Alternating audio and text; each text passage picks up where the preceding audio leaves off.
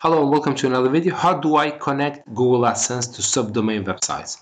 Now, subdomain website, Google most times, uh, most subdomains doesn't really accept them unless a uh, is a domain or subdomain from Blogger.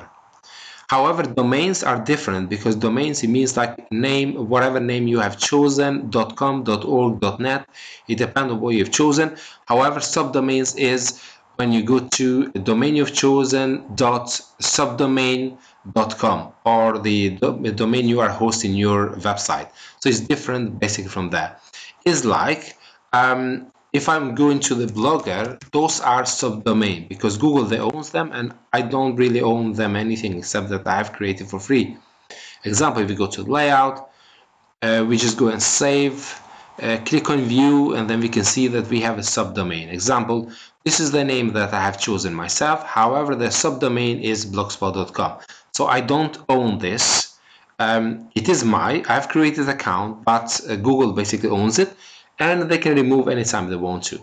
However if you have your own domain it's different story. So now if you think of uh, connecting with the blogger it's easy. Uh, all you need to do is just log in with the blogger that you want to so in this case let me just click on one of them. I'm going to test if I have. Okay um, if you see the dollar is in orange basically it tells you that blog is available to apply or to connect with your AdSense account. If you don't see that then basically uh, is not at the moment. So okay we click we have this. This is what we're going to do. Now we're going to connect it uh, with AdSense account. So let's just go and do that. First thing uh, click on sign up now. So sign up for AdSense uh, now we need to go to the AdSense account that we want to use. So I'm just going to click, this is where I have my AdSense account. Uh, I accept connection, shall I say, between the blogger and AdSense. And then just click on redirect. That's all I need to do because I want to redirect to the blogger. Um, once it's being redirected, it says, congratulations, the AdSense widget has been added to your template uh, press continue to customize your AdSense settings. So uh, all it has been done and set up. All we need to do is now show the ads what we want to in our blog. Click continue and it says this is your publisher ID. Uh, it tells you successfully that this blog has been connected with your AdSense account. And now the your couple of uh, templates you want to choose. You can choose template A, B, or C, or 1, 2, and 3, uh, the ads. Those in yellow is telling you the ads where it's going to be showing just below the post and on the right hand side of the post. These are the most common and used basically. However, if you want, you can even go and do that manually. Manually will be just go to layout and then once you are in layout, just click on add a gadget. Click on AdSense. Uh, choose what type of size you want of your AdSense. Once you do that, example, if I click on, let's say 300 with 600, this is how it's going to show quite a wide one. Now we you can choose the colors um, border color. Border color is the uh, round one around the ad. A background in the background what color you want to. If you don't know what color to choose uh, sometime it may not open.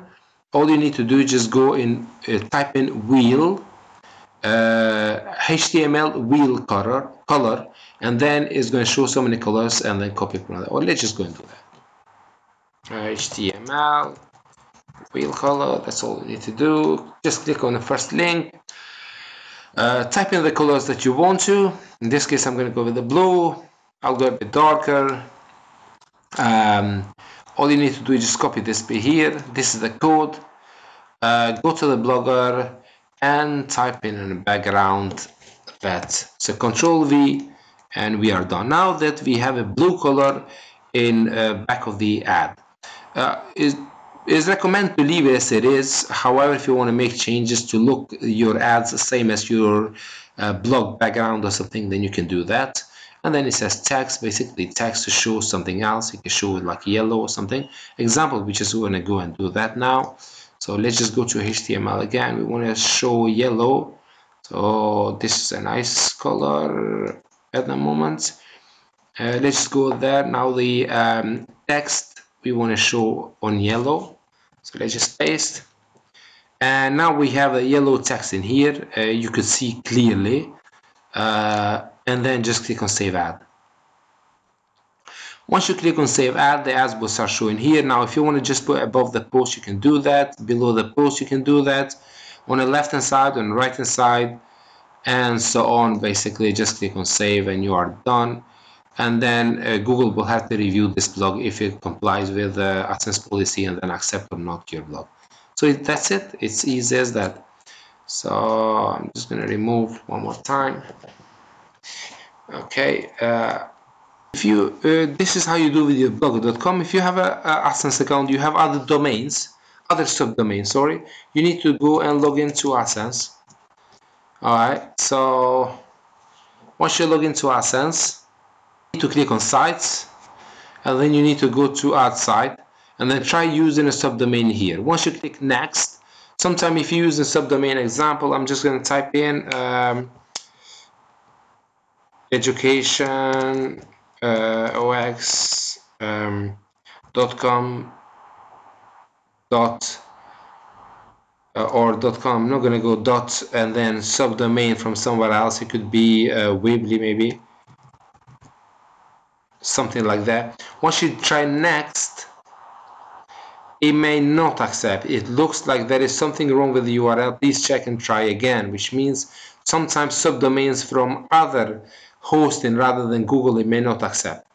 So but when it's personal domain like if I go uh, xcode.com uh, and then click on next is going to accept this particular domain. So you have to check out here.